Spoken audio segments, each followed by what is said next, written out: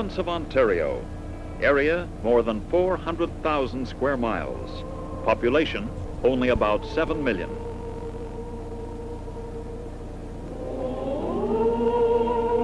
In the north, vast areas of almost unpopulated wilderness, land of great potential wealth, still largely unrealized. The object of several geological operations in recent years by the Ontario Department of Mines was to complete a geological reconnaissance of large tracts of little known and hard to reach territory in a matter of weeks.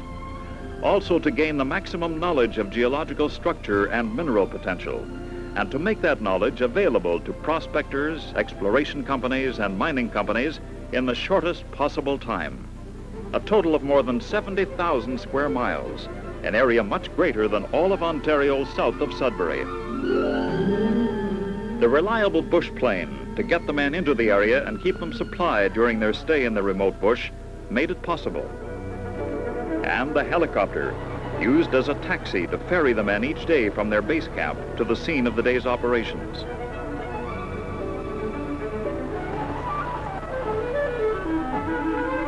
Why these special arrangements? The need is dictated by geography or topography, or both. In some cases, the land to be surveyed might be a 100 miles or more from the nearest road or rail line. Most of it is so rugged that it's almost impossible to traverse it on foot. Normally, although it forms part of the Great Canadian Shield of Precambrian rock, the overburden is thick with too few outcrops to permit normal surface examination. Moreover, between the few surface features that do exist, there is likely to be a morass of swampland or muskeg to effectively block the man who must depend on his own two feet.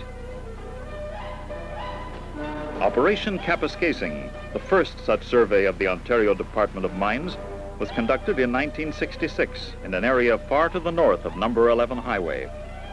It was made easier by the fact that Ontario Hydro was constructing three huge dams to harness the flow northward of the Mattagami River. Thus, although an access road and base camp were available, the surrounding country was still almost impenetrable. Here, the helicopter provided the answer, made it possible for a few men to accomplish in a single season a job which would have required the same number of men five years of hard labor under normal surveying techniques.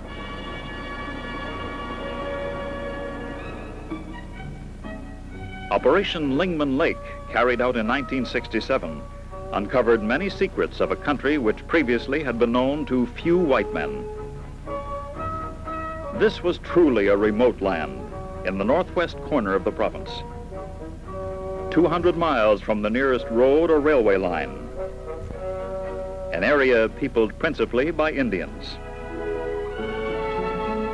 Life for the geologist on this project was strictly a do-it-yourself proposition.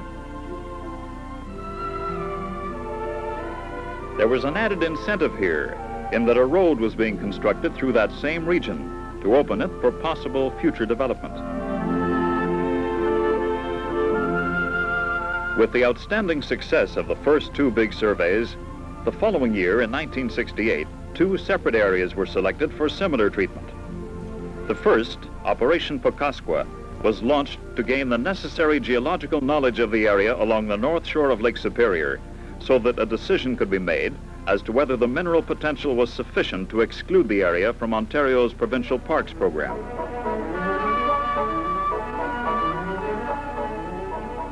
In 1969, another extensive program supported by helicopter service was launched. Fort Hope, a tiny settlement midway between the Trans-Canada Highway and Hudson Bay. Home base for a few score Indians, whose ancestors roamed this northern territory long before the days of Champlain, Cartier, or Mackenzie.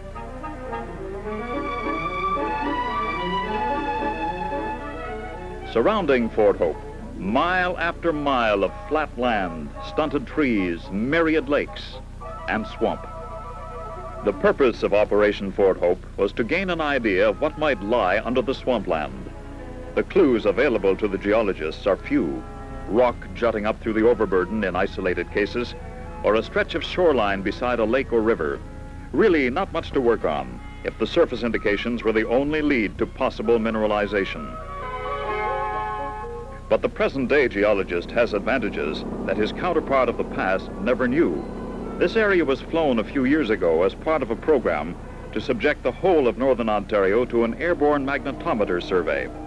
Instruments flown over the area in a fixed pattern indicated the presence of different types of rock formations and the possibility of economic forms of mineralization beneath the swampy surface.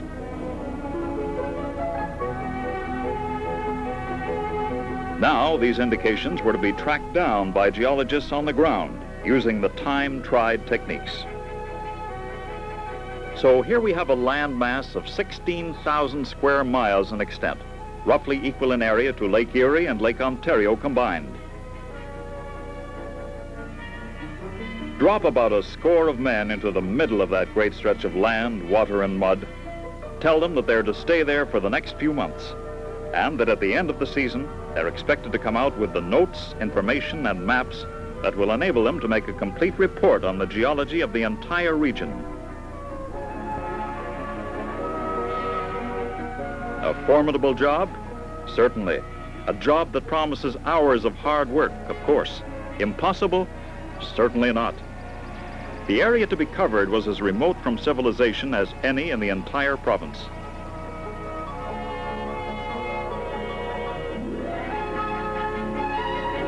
Miles and miles of swamp and muskeg, thick undergrowth, few landmarks, and in summer, swarms of voracious black flies.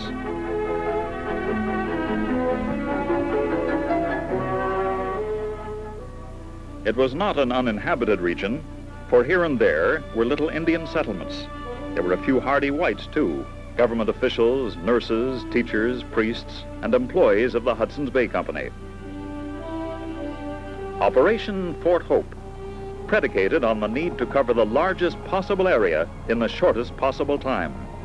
The basic tool to make this possible was the helicopter, the versatile machine which could land in or take off from an area not much bigger than that encompassed in the sweep of its rotor blade.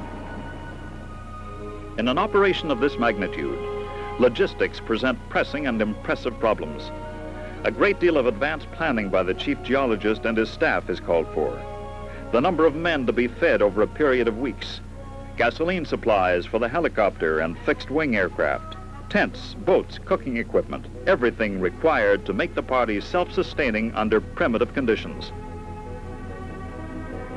Leaders of the field parties are selected from experienced members of the geological branch. Other party personnel are recruited from the universities.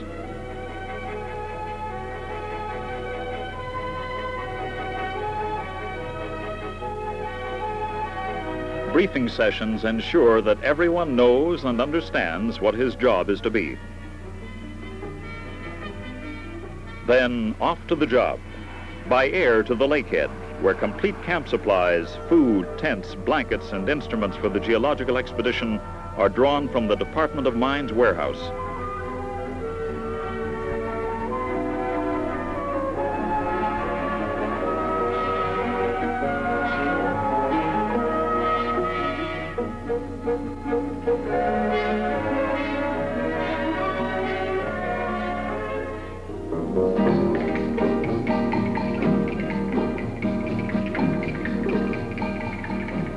Transport trucks and station wagons roll out of the warehouse down the road to the first staging area at Nakina.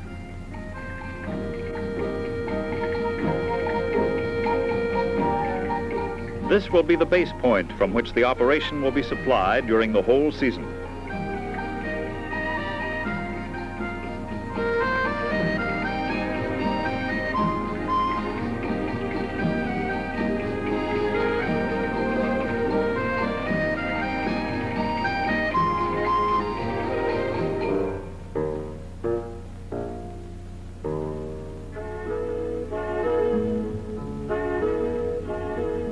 Chartered freighter plane loaded with men and supplies takes off for Fort Hope to begin the operation.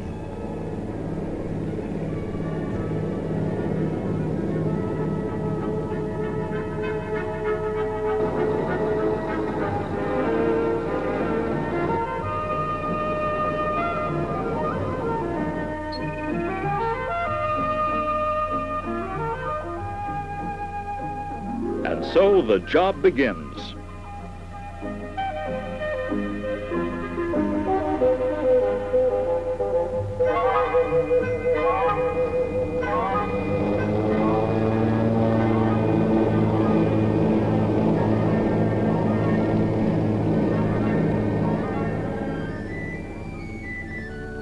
Hope is regarded by the Department of Indian Affairs and Natural Resources as a textbook example of what a remote Indian settlement should be, with fully adequate housing facilities, school, church, trading center, and other simple amenities for the residents. The immediate program calls for immediate action if they're to be settled in before dark.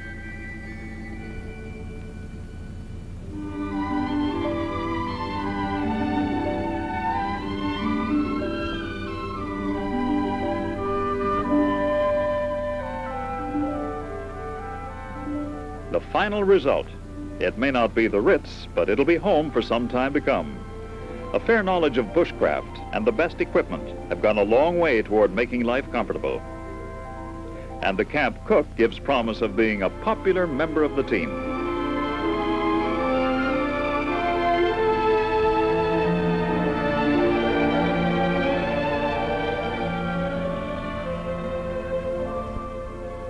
And here the next day is the plane, back with another load of initiates.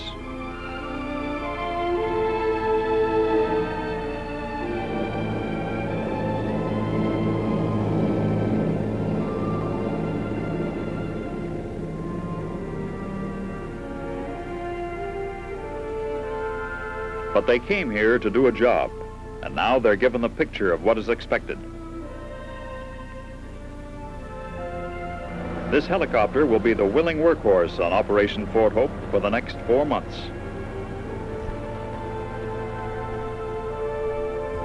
It'll serve as an air taxi, transporting the geologists from the base camp to the surrounding rock outcrops from which they will carry out their activities. These machines will land almost anywhere, a patch of rock, a pond, or a clearing in the bush. This rock provides a natural landing and the starting point for the first survey.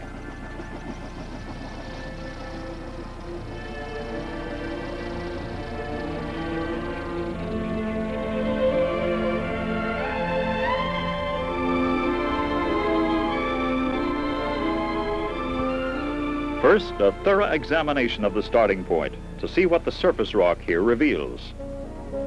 A few interesting samples will go back to camp for closer examination. Then it's time for a traverse of the surrounding bush area. At first, it's open country, and the going is fairly easy.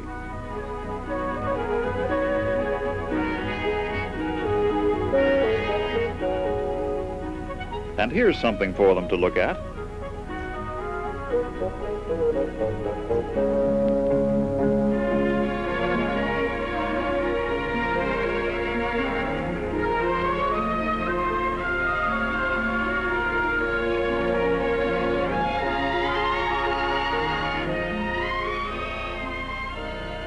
Sometimes, though, things aren't quite so easy.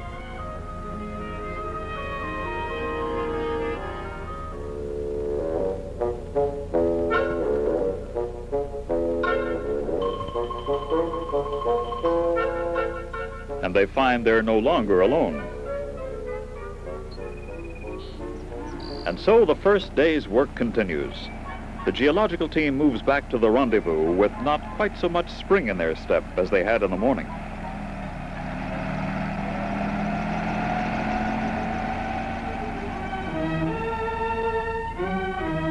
The shores of rivers and lakes are naturally scanned very carefully.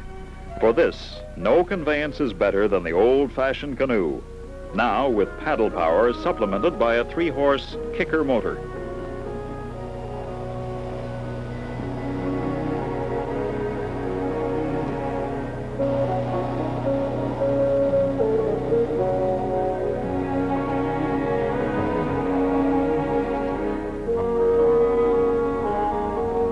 Something here may be of interest, so keep looking.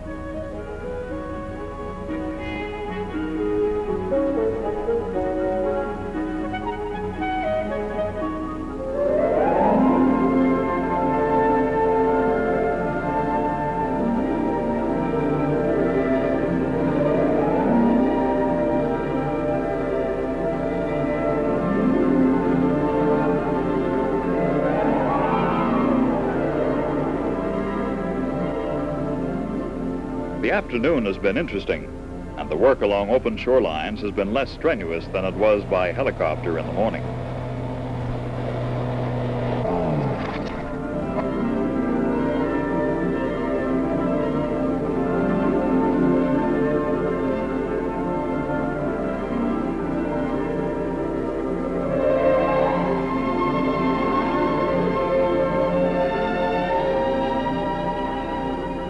This is an important part of the day's agenda, and if the camp cook can maintain this standard for the season, there'll be few objections from his customers.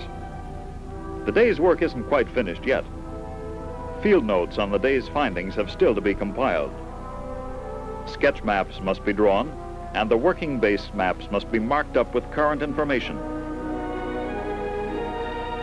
And the briefing session for tomorrow's operations. Tomorrow is another day, and with it comes another day's activities.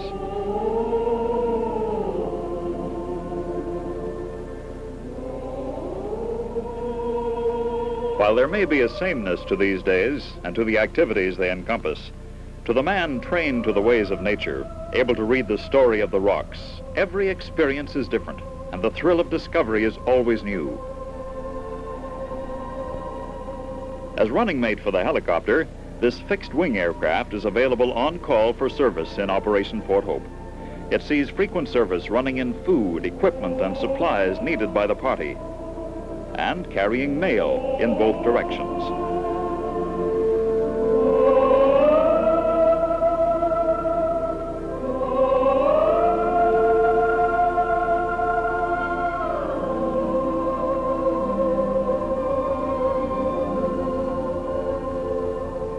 What office-tied man wouldn't envy a chance like this?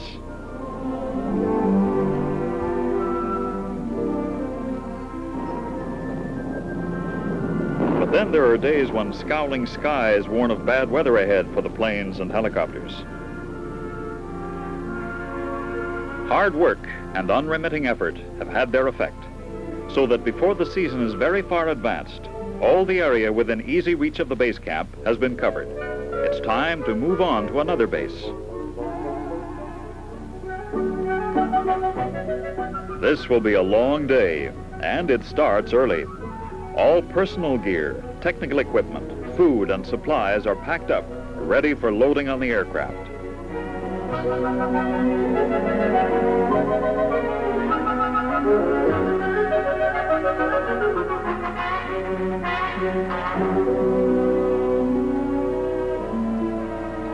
The advance party take off. Those that are left behind do a final wrap-up, leaving the camp area in as good condition as they found it.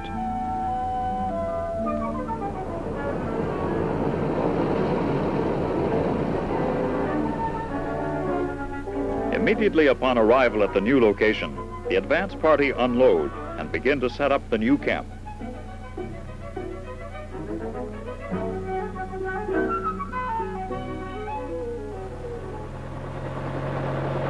The same routine starts all over again from the new base. Flying, paddling, walking, splashing, examining, mapping, day after day after day. Regular maintenance of the aircraft in this remote area is essential if accidents are to be avoided and the work is to continue without interruption. Summer wears on. With increased experience, the rate at which work is accomplished speeds up immeasurably. The routine has become a way of life. Now, in the evening, there's a nip of frost in the air. Leaves begin to change color. Birds take wing to warmer climes. Geologists follow suit. From Nakina, everything is shipped to the Department of Mines headquarters in Toronto. Now it's au revoir to the student members of the party. We'll be heading back for another year at university.